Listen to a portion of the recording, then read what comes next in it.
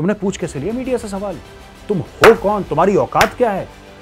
Media, अभिव्यक्ति की आज़ादी और जितने माइक, कैमरा भोंपू वाले दुनिया भर within twenty four hours of Donald Trump departure from India Shaheen Bagh में तंबू वंबू बिरयानी के डिग सब गए। जब भी देश में ऐसे प्रोटेस्ट होते हैं ना तो कोई ना कोई इसका फ़ायदा उठाने की कोशिश करता है। घर में दो भाइयों के बीच में झगड़ा हो जाता है।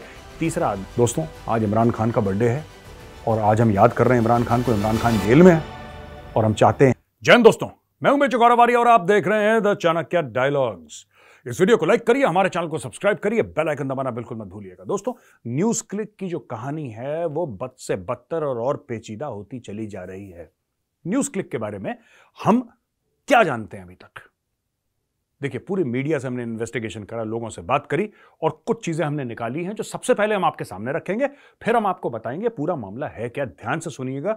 और मेरी ये आपसे रिक्वेस्ट है, ये गुजारिश है कि इस वीडियो को लास्ट तक आप देखिएगा। आपको बहुत मज़ेदार चीज़ें पता लगने वाली हैं दोस्तों। देखिए, पहली चीज़, प्रबीर पुरखा जो हेड है न्यूज़ क्लिक का 17 अगस्त 2023 को इसको यूएपीए के अंडर इसको अंदर कर दिया। यानी कि केस रजिस्टर इसके अंदर। हो गया था और इस पे ब्लेम करा गया। इस पे जो आरोप लगा है, वो है टेररिस्ट एक्टिविटीज़ यानी आतंकी गतिविधियाँ number one number two terror funding आतंकी गतिविधियों को फंड करना, यानी कि उसके लिए पैसे फराम करना। और नंबर तीन क्रिमिनल कॉन्स्पिरसी यानी कि साजिश करना, देश के खिलाफ। ये तीन मोटे मोटे केस यूएपीए के अंडर इस बंदे पे लगे हैं और यूएपीए की तो माफ़ी भी नहीं है दोस्तों। जो यूएपीए में फंसा, उसका thank you tata bye bye अच्छा जी, अड़तीस करोड़ रुपए इसको प्राप्त हुए प्रो चाइनीज़ कंटेंट चलाने के लिए। मैं आपको इंफॉर्मेशन वॉरफेयर के बारे में भी बताऊँगा। मैं आपको पूरी चीज़ विस्तार से आज बताऊँगा कि पूरी चीज़ न्यूज़ क्लिक के बारे में जो अभी ये ये उठ रहे हैं ना, अंदर से, कीड़े जो निकल रहे हैं, लकड़ी में से कीड़े निकलते हैं ना जो दिमाग टाइप के, ये निकल रहे हैं। हाय हाय मीडिया की आज़ादी, हाय हाय, बड़ी प्रॉब्लम हो गई है। ओए होए, छाती पीटो, रुदालियों को लाओ, हैं? माहौल बनाओ। मैं इनको भी आज एक्सपोज करूँगा। दोस्तों तो देखिएगा 28 करोड़ रुपए इनको मिले न्यूज़ क्लिक की बात कर रहा हूँ 28 करोड़ रुपए इनको मिले 2018 और 2022 दो यूएस बेस्ड एंटिटीज अच्छा आपको जब बाहर से पैसा मिलता है तो आपको बताना पड़ता है। ये 100 200 500 हज़ार 2000 डॉलर की बात नहीं कर रहा। जब मोटा पैसा बाहर से आता है तो आपको बताना पड़ता है कि भाई साहब स्टोरी ये है कि ये पैसा विदेश से आपके पास इसलिए आ रहा है। आपको स्टोरी समझानी पड़ती है कि यह पैसा विदेश से इसलिए आ रहा है, इसका कारण आप ऐसे मन चाहे पैसा नहीं ले सकते कि आपने विदेश से किसी कंपनी से पैसा ले लिया और मोटे मोटे करोड़ों करोड़ों अरबों रुपए यहाँ पे इंडिया में आ रहे हैं और कुछ पूछे नहीं, ऐसा नहीं। टेरर फंडिंग ऐसी तो होती है। बाहर से इसका मतलब कोई भी पैसा भेज दे, हम किसी को भेज दें, भाई आपको लिखत पढ़त होती है ना कुछ। तो जब इनसे पूछा गया कि भाईजान आपके पास पैसे आए कहाँ से और क्यों आए तो ये बता नहीं पाए। ये मामा, मैं मैं अच्छा मैं अभी सोच के अच्छा मैं। इनको पता ही नहीं। या पता है, बता नहीं सकते। ठीक है, अब सुनिए। इनको जो पैसा दिया गया था प्रबीर पुरकायस्ता को, ये पैसे दिए गए हैं चाइनीज़ प्रोपागेंडा के लिए और कश्मीर और अरुणाचल प्रदेश को डिस्प्यूटेड टेरिटरी यानी कि ये जो टेरिटरी है कश्मीर और अरुणाचल प्रदेश, ये भारत का हिस्सा नहीं है। आप ये पैसे पकड़ो और आप दुनिया भर को बताते रहो कि भारत कैसा नहीं, भारत कैसा नहीं। ये रिपीट करते रहो। रिपीट करते रहो। कुछ धीरे धीरे लोग विश्वास करना शुरू करेंगे, फिर ऐसे ही इन्होंने छत्तीस और पाल रखे हैं चाइनीज़ ने। वो भी पिकअप करेंगे, वो भी पिकअप करेंगे, वो भी पिकअप करेंगे। कभी आपने ट्विटर पे देखा है? एक ही टाइप के ट्वीट कई लोग डालते हैं। एक ही टाइप के ट्वीट सेम लैंग्वेज और बड़े बड़े लोग जिनके मिलियंस में फॉलोअर्स हैं, लाखों में फॉलोअर हैं वो एक ही किस्म का ट्वीट डालते हैं। आपने कभी नोट करा ये? ये वही चक्कर है। यानी कि सबको पैसे पहुँच गए, सबको व्हाट्सएप पहुँच गया कि ये व्हाट्सएप को कट पेस्ट करके, बेटा इसी को ट्वीट करो तुम सब लोग। और सारे के सारे दस पंद्रह लोग एक ही प्रकार का। हमने ये शाहीन बाग में देखा, हमने ये किसान आंदोलन में देखा। मैं किसानों को गलत नहीं ठहरा रहा, ना मैं शाहीन बाग वालों को गलत ठहरा रहा हूँ, जिन्होंने प्रोटेस्ट कराया। लेकिन जो लोग आए थे बॉलीवुड से जहाज़ पकड़ के और फिर चले गए। है लोगों को बेवकूफ़ बना के। और क्या बोला था शाहीन बाग वालों को? ये मोदी है, सारे मुसलमानों को देश से बाहर निकाल देगा। कितनों को निकाला? एक का नाम बताओ जिसको निकाला आज तक। और निकाल भी नहीं सकता यार, संविधान है देश में। कौन किसको निकाल रहा है? लेकिन आपने पूरी एक कौम को डरा दिया। आपने बोला कि बस, अब तुम घबरा जाओ। तुम घबरा जाओ, तुम्हारे साथ बुरा होने वाला है। यही काम कर रहे हैं ये लोग। और अब मैं आपको बताऊँगा, ये क्यों इतना संगीन जुर्म है? जिसकी कोई माफ़ी नहीं होनी चाहिए, मेरी किताब में कम से कम नहीं होनी चाहिए। राइट? अब मैं आपको बताता हूँ। ये देखिए दोस्तों, दिल्ली पुलिस का जो स्पेशल सेल है, उसने 45 दिन तक इनके ऊपर covert technical as well as financial investigation करा। यानी कि इनके मोबाइल फ़ोन टैप करे होंगे। मैं सोच रहा हूँ ऐसा, ये मेरा, ये मेरी अंडरस्टैंडिंग है। हो सकता मैं गलत हूँ।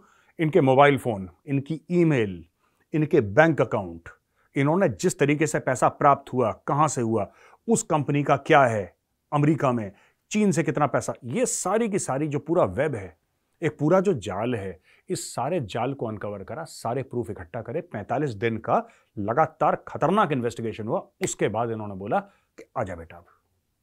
आजा बेटा। तो ये जो अरेस्ट हुए हैं ना, इससे क्या हुआ है कि बहुत हलचल हो गई। अब देखिए क्या कहता है।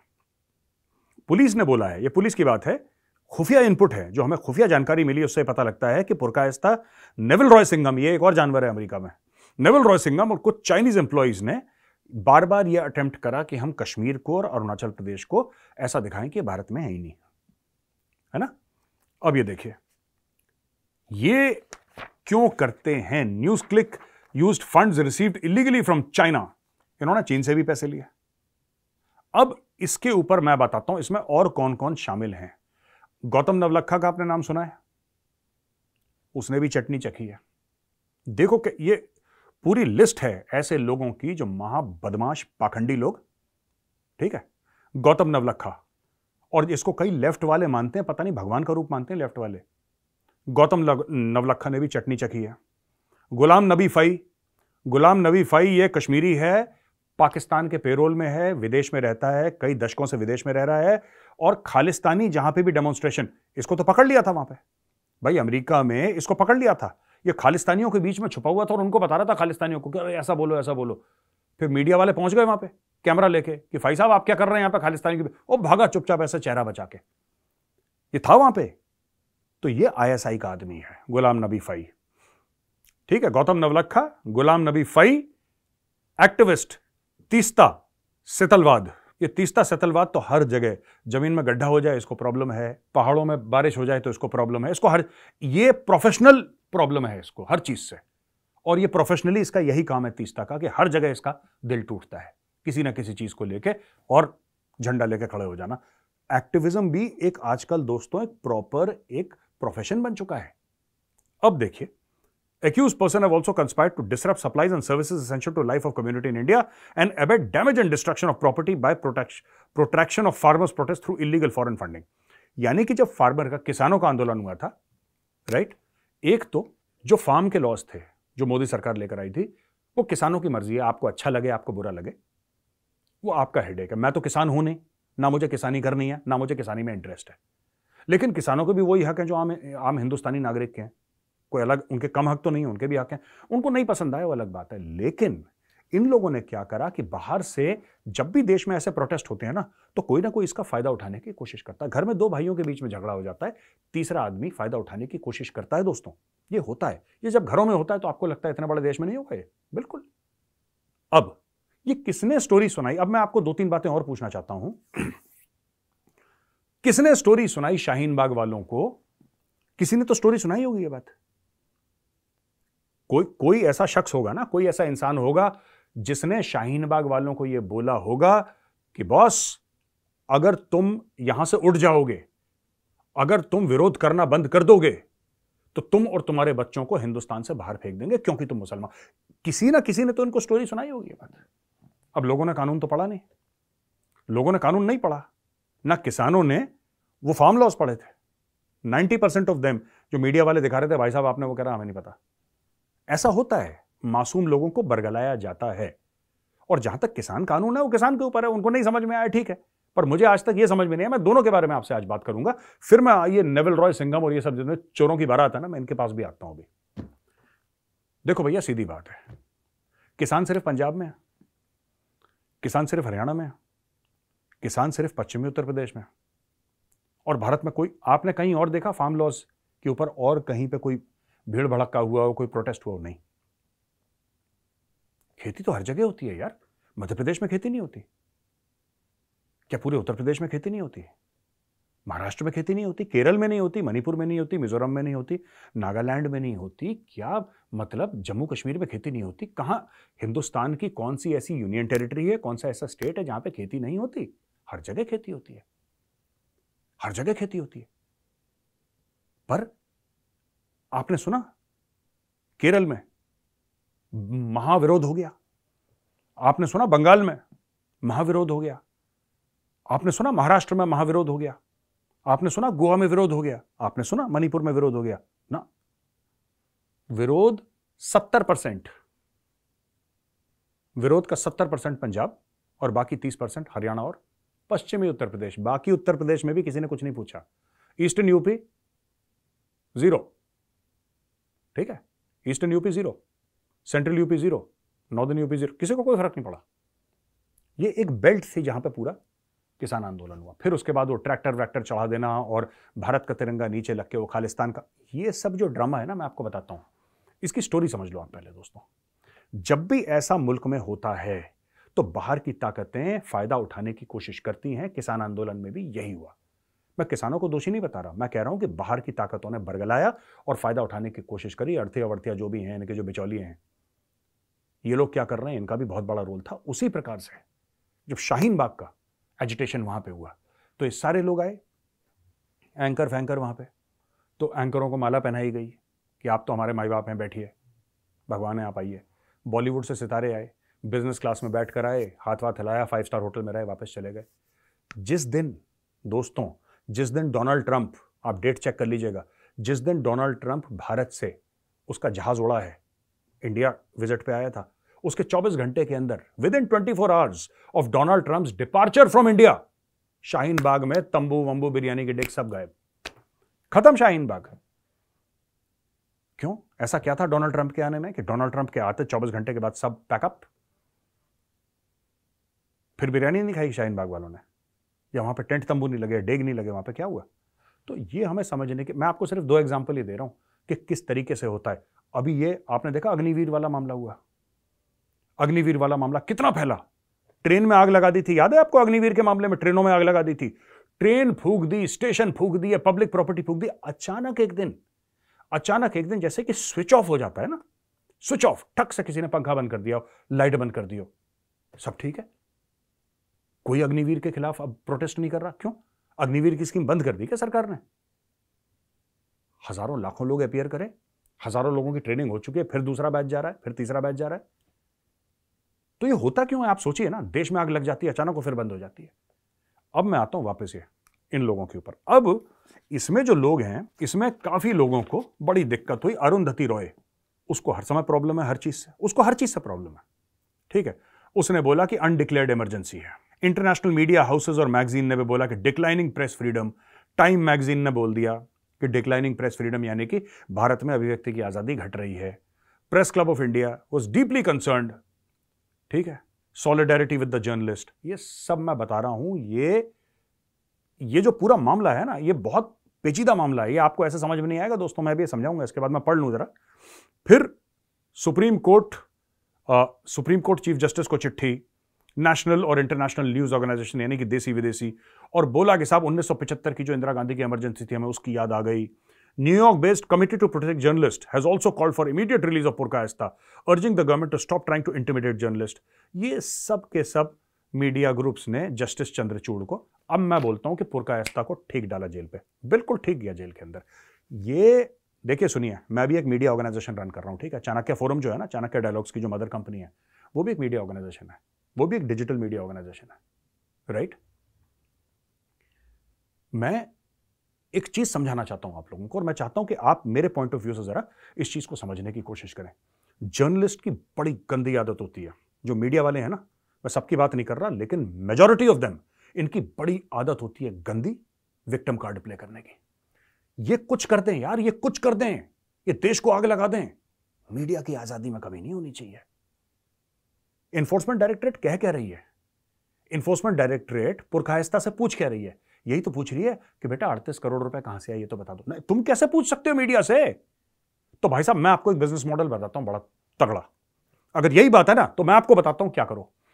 आप एक प्राइवेट लिमिटेड कंपनी खोलो, ठीक है? आप उसका नाम रखो, घपला घोटाला मीडिया प्राइवेट लिमिटेड घपला घोटाला मीडिया प्राइवेट लिमिटेड एक प्राइवेट कंपनी खोल दो आप। दो तीन लोग हायर कर दो। उसके अंदर आर्टिकल वार्टिकल लिखवा दो। किसी से पाँच दस हज़ार रुपए देके। तैयार हो गए आपका मीडिया कंपनी तैयार हो गई। जहाँ जहाँ रजिस्टर करना है, वहाँ वहाँ रजिस्टर कर लो। और अब इसके बाद बढ़िया चीज़। एक आइडिया बताऊँ आपको अच्छा सा? आप फिर जो आपको फाइनेंशियल फ्रॉड करना है आप करो। आपको जो फाइनेंशियल फ्रॉड करना है करो। आप लॉटरी की स्कीम निकालो। आप पॉन्जी स्कीम्स प्ले करो। ठीक है? आपको विदेश से आतंकवाद फैलाने के लिए पैसा लेना देने वाले बहुत हैं भैया। देने वालों की कमी नहीं है। आप एक बार भारत के लिए हाथ खड़ा करके ये तो बोलो कि मैं भारत का बुरा चाहता हूँ फिर देखना कैसे फंड आते हैं। पैसे कमाने हैं ना तो मैं आपको तरीका बता रहा हूँ। फिर आप जाओ और पूरा भारत माँ के लिए बुरा काम करो और बोलो और हाँ, ये पैसे लो विदेशों से करोड़ों रुपए लो। ऐश से जियो। हर चीज़ में गंद डालो भारत में। सब कुछ कर दिया आपने। उसके बाद अगर किसी ने आपसे सवाल पूछ लिया कि भाई साहब, ये अड़तीस करोड़ रुपए आपको विदेश से आए थे, ये तो कानून के खिलाफ हैं। इसके कुछ कागज़ हैं आपके पास? कुछ होंगे ना आपके पास? कुछ कागज़ होंगे, कुछ पत्र होगा, कुछ कुछ एक्स वाई जेड तो होगा आपके पास। अगर आपके पास ऐसा कुछ है तो आप जरा हमें दिखाएँगे तुमने मीडिया से सवाल कैसे पूछा? तुमने पूछ कैसे लिया मीडिया से सवाल? तुम हो कौन? तुम्हारी औकात क्या है? मीडिया अभिव्यक्ति की आज़ादी और जितने माइक कैमरा भोंपू वाले दुनिया भर के इकट्ठा हो जाएँगे कि हमारे मीडिया अर्नब गोस्वामी को उन्होंने जेल में डाला। ठीक है? क्यों? क्योंकि अर्नब गोस्वामी ने एक मुख्यमंत्री से सवाल पूछ लिया। ठीक है? बाद में उस मुख्यमंत्री की सरकार गिर गई। अर्नब गोस्वामी ने एक पुलिस कमिश्नर से सवाल पूछ लिया। ठीक है? इतना बड़ा पाप कर दिया यार। इतना बड़ा पाप। अब मुख्यमंत्री सवाल पूछोगे? अर्नब गोस्वामी को हैरस करा, उसके परिवार को हैरस करा। अर्नब गोस्वामी को टॉर्चर करा जेल में। अर्नब गोस्वामी को तलोजा जेल में डाला। क्यों? तब ये लोग कहाँ थे? ये कहाँ मर गए थे? ये लोग, मैं ये जानना चाहता हूँ यार। आप ये मत सोचना, अर्नब मेरा दोस्त है, इसलिए मैं बोल रहा हूँ। वो छोड़ो। यारी दोस्ती एक जगह फैक्ट्स पे बात करते हैं। कितने लोग थे जो सड़क पे आए? जो इनको जब मौत आ रही है ना अभी ये, इनको जो मौत आ रही है कि जर्नलिज्म खतरे में है और ये सब, ये तब उन्होंने क्यों नहीं बोला? यार जब अर्नब गोस्वामी को जेल में डाला था। और किस किस के लिए? अर्नब गोस्वामी ने करा क्या था? आपने पूरा इन्वेस्टिगेट करा। इसी सरकार ने इन्वेस्टिगेट करा। ये जो सरकार थी जिसने अर्नब को जेल में डाला था, ये उस समय जो महाराष्ट्र में सरकार थी, उन्हीं लोगों ने इन्वेस्टिगेट करा, उनके पास कुछ निकला नहीं। आपने डाल दिया उस बंदे को जेल में? किसी ने माफ़ी मांगी उससे? कि नहीं भाई साहब, आपको हमने गलत जेल में आपको टॉर्चर करा, आपके परिवार को परेशान करा, आपके घर में घुस गए, पुलिस के कमांडो लेके। किसी ने उसको बोला? नहीं। अभिव्यक्ति की आज़ादी एक खास माफिया है मीडिया के अंदर। सिर्फ़ उसके लिए है। सिर्फ़ उसके लिए है।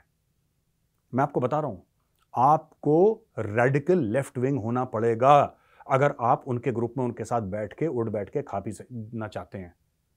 अगर आपको मोटे फंड चाहिए ना तो आपको लेफ़्ट रेडिकल माइंडसेट का होना पड़ेगा। फिर आपको ऐसे वैसे जो पत्रकार हैं, आपको उनके साथ बैठना पड़ेगा जो देश के खिलाफ अब ये, आप ये कहते हैं कि साहब, न्यूज़ क्लिक को जानता कौन है यार?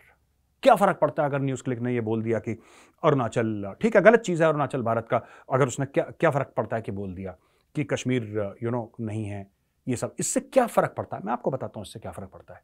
आप समझिए, ये इंफॉर्मेशन वॉरफेयर के तहत आता है, ये भी एक लड़ाई का तरीका है इंफॉर्मेशन वॉरफेयर इंफॉर्मेशन वॉरफेयर ये होता है कि मीडिया को और सोशल मीडिया को इस्तेमाल करके किसी देश के ऊपर हमला बोलना। दोस्तों फिफ्थ जनरेशन वॉरफेयर का ज़माना है। फिफ्थ जनरेशन वॉरफेयर क्या है?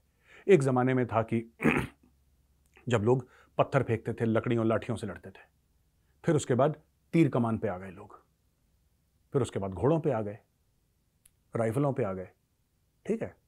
उसके बाद हवाई जहाज़ चलने लगे, हवाई जहाज़ से लोग एक दूसरे को मारने लगे, पनडुब्बियाँ आने लगी एयरक्राफ्ट कैरियर ये दुनिया भर का।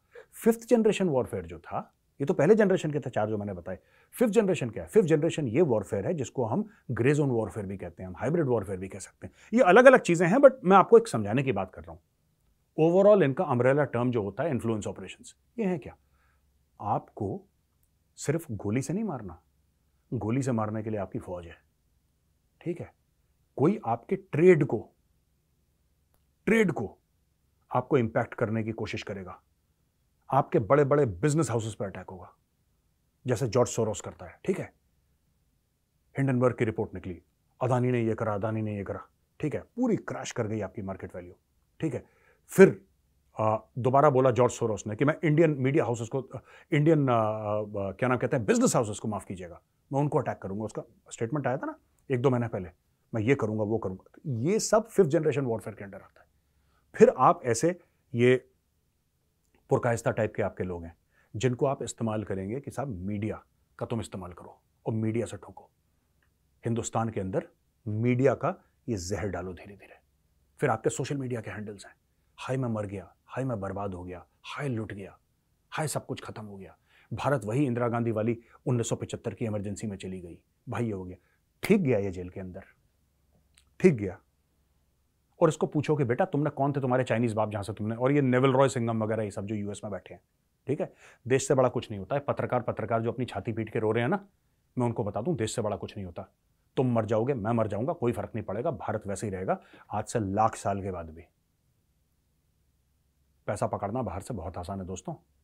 लेकिन जो भारत माँ का सगा नहीं हुआ ना, वो अपने माँ बाप का सगा नहीं हो सकता। वो अपने भाई बहन अपने बीवी बच्चों का सगा नहीं हो सकता। तुमने देश के साथ गद्दारी करी है, तुम्हें कोई पेड़ ठीक है? कोई पेड़ तुम्हें छाँव नहीं देगा। कोई कुआँ तुम्हें पानी नहीं देगा। तुम देख लेना जिस तरीके से तुम लोग काम कर रहे हो। और मैं बहुत खुश हूँ, दिल्ली पुलिस के स्पेशल सेल ने इनको पकड़ के ठोका है। इनको रगे दो जरा। और जो बकवास करते हैं हाई मीडिया हाई मीडिया के मीडिया ऊपर से अवतरित हुआ है क्या? इंसानी तो है मीडिया में। मैं भी मीडिया का हिस्सा हूँ। मैं भी मीडिया का हिस्सा हूँ। तो हुआ क्या? मतलब मुझे समझ में नहीं आया। Media media media. Media media से आपने सवाल पूछ लिया। क्यों? क्यों भाई? मीडिया से क्यों नहीं भगवान हो तुम लोग? तुम लोग भगवान हो? कि तुमसे कोई सवाल पूछ लिया तो साहब ऐसा हो गया कि बिल्कुल देश में मौत आ गई, आग लग गई। हम सब भारत के सिटीजन्स हैं, भारत के शहरी हैं, भारत के नागरिक हैं। जितना मेरा हक है, उतना आपका हक है। ठीक है? जो भी इस दुनिया में है, चाहे वो सेठ हो, चाहे वो रेडी चलाता हो, सबके बराबर हक है इस देश में। मीडिया वाले कोई ऐसे भगवान नहीं है जो अपने आप को मीडिया वाले भगवान समझते हैं। हर चीज़ में। ये गंदे से गंदा काम करें। ये बुरे से बुरा काम। इनसे सवाल मत पूछ लेना यार। इनको बड़ा बुरा लग जाता है, फिर मीडिया की आज़ादी खत्म हो जाती है। आज़ादी खत्म हो जाती इनको आज़ादी चाहिए स्मगलिंग करने की। इनको आज़ादी चाहिए दुनिया भर में देश के खिलाफ षड्यंत्र रचाने की। इनको आज़ादी चाहिए चीन से अड़तीस करोड़ रुपए लेने की। मैं पुरकायस्ता की बात कर रहा हूँ इस वक्त। इनको इन सब की आज़ादी चाहिए।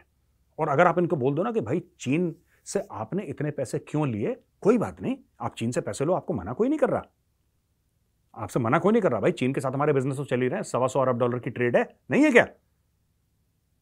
पर आप चीन से, पाकिस्तान से पैसे ले रहे हो, आप कारण तो बताओगे?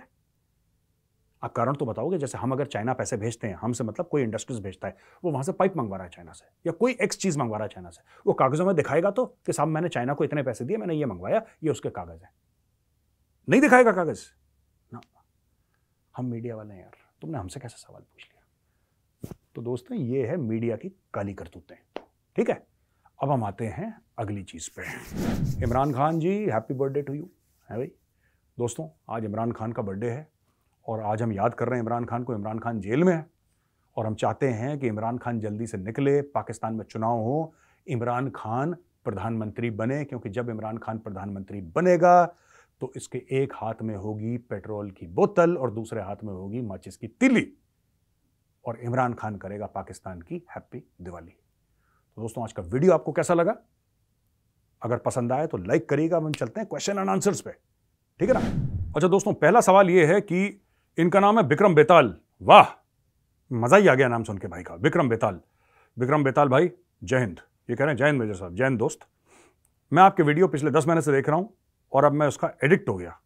शाबाश वेरी गुड थैंक यू और ये कहते हैं कि जियो स्ट्रैटेजिक अपडेट्स हर रोज प्रोवाइड करने के लिए और हँसी मज़ाक का डेली डोज ऑफ़ लाफ्टर के लिए बहुत बहुत धन्यवाद आपका। मेरा सवाल आपसे यह है कि पाकिस्तान कब तक न्यूट्रल रहेगा बिना कमिट करे हुए कि वो वेस्टर्न है कि चाइनीज़ अलाय है? यानी कि इनका ये कहने का मतलब है कि पाकिस्तान कब तक न्यूट्रल रह सकता है? उसको ये तो बताना पड़ेगा ना कभी कि वो चीन का सगा है कि वेस्ट का सगा यानी कि अमेरिका का सगा है। देखिए, पाकिस्तान बहुत पहले ये बता चुका है कि वो किसका सगा है और उस चीज़ का नाम है डॉलर। पाकिस्तान सिर्फ़ और सिर्फ़ डॉलर का सगा है। पाकिस्तान ने अमेरिका को भी धोखा दिया है। पाकिस्तान ने चीन को भी धोखा दिया है। अमेरिका को कैसे धोखा दिया? तालिबान से खुसफुस करके अमेरिका से पैसे ले रहा था। तालिबान से खुसफुस करी। अमेरिकी फौजी मरवा दिया।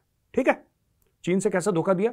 पचास अरब डॉलर डाले सीपैक में। चाइना ने, चाइना पाकिस्तान इकोनॉमिक कॉरिडोर, पच्चीस अरब पाकिस्तानी खा गए।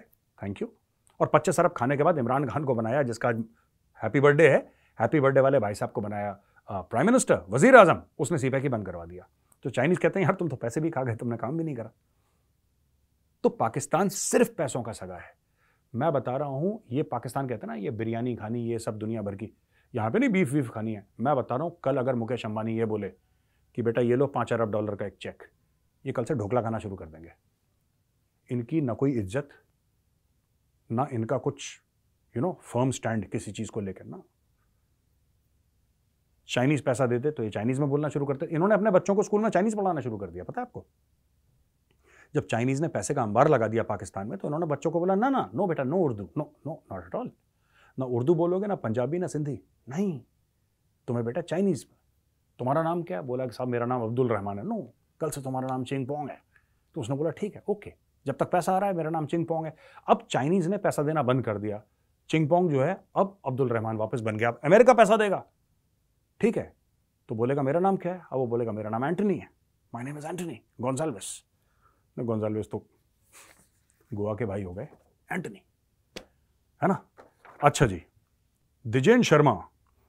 जय major, sir. I am a class ninth viewer Hind दोस्त, ये क्लास नाइन्थ में पढ़ते हैं वीडियोज़ आर अमेजिंग बहुत बहुत धन्यवाद आपका। Does Bharat have any major threat from terror organisation like ISIS as a few engineers related to that group were arrested a few days ago in Delhi, and if can Bharat counter that? Jain sir.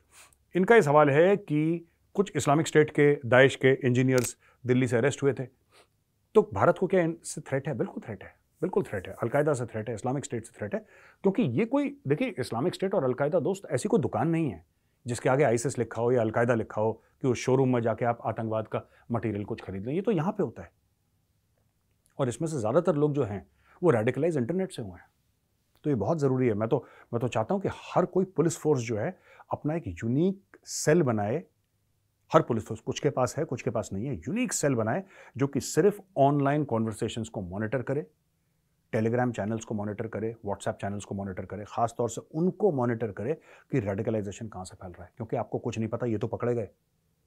अगर ये पकड़े नहीं जाते, अगर इनमें से दो तीन में से तीनों तीनों सुसाइड बॉम्बर जो कि चाह रहे थे बन जाए, ये बन जाते तो ये कई सौ लोगों को मार देते। और फिर क्या, वो है अकेला इंटरनेट से हो गया रेडिकलाइज उसने बम बम खरीदा इंजीनियर था, पढ़ा लिखा आदमी है फिट करा ऑफ़ तो ये खतरा तो है, और बहुत ज़बरदस्त खतरा है ये। अच्छा जी अब हम आते हैं प्रखर्ष श्रीवास्तव। नाम बड़ा अच्छा है आपका दोस्त Prakharsh good Prakharsh Srivastava. Jayant sir I am regular viewer of Jayant Prakash ji. ये कह रहे हैं कि मैं टीसीडी यानी कि द चाणक्य डायलॉग्स देखता हूँ और uh, मुझे बहुत कुछ सीखने को मिलता है ऑल बिकॉज़ ऑफ़ यू नहीं नहीं आप आपका बहुत बहुत धन्यवाद कि आप हमारा चैनल देखते हैं। Uh, इन्होंने बोला कि कैनेडियन मिलिट्री की वेबसाइट को इंडियन हैकर्स ने हैक कर दिया। क्या ये सच है? या फिर इंफॉर्मेशन वॉरफेयर है कनाडा का because diplomatic low relation between both countries thank you sir जय हिंद अच्छा। इसमें ऐसा है कि इन्होंने ये पूछा है कि कैनेडियन मिलिट्री वेबसाइट को इंडियन हैकर्स ने हैक कर दिया। हाँ मैंने भी पढ़ा था मीडिया में कि हैक कर दिया। और ठीक है, कोई बड़ी बात नहीं है हैक हो गया हो गया। ठीक है। इन्होंने कनाडा को भी जय हिंद बोल दिया एक बार। तो कनाडा ने बोला अच्छा हमारी मिलिट्री वेबसाइट पर जय हिंद चल रहा है या उन्होंने पता नहीं क्या कुछ डाला होगा। लेकिन हाँ ये बात मैंने भी पढ़ी थी कि हैक कर दिया। इन्फॉर्मेशन वॉरफेयर ने सचमुच हैक कर दिया था। मीडिया का ये कहना है। आखिरी रिदम जी का सवाल है। रिदम जी, नमस्कार। वंदे मातरम, गौरव भाई। Vande Mataram, Ridham ji. Should India take steps in response to meeting organise by China in Tibet ये कहते हैं कि जो चाइना ने तिब्बत में मीटिंग ऑर्गेनाइज करी थी, जिसमें मंगोलिया आया और यू नो अफ़गानिस्तान आया, पाकिस्तान। पाकिस्तान तो खैर उनका घर का ही नौकर है, कोई दिक्कत नहीं है। तो क्या भारत को भी ऐसे मीटिंग इन्वाइट करनी चाहिए अरुणाचल प्रदेश में? जापान, वियतनाम, ताइवान, फिलीपींस को बुला के और वहाँ पे डिनर शिनर रखे भारत। नहीं, मुझे नहीं लगता कि भारत को करनी चाहिए। चाइना कह रहा है कि अरुणाचल चाइना का है। साउथ टिबेट बोलता है ना, चाइना कह रहा है कि अरुणाचल हमारा है, पर एक्चुअली अरुणाचल ऑलरेडी हमारा है। हम क्या करेंगे वहाँ पे खाना वाना खा के?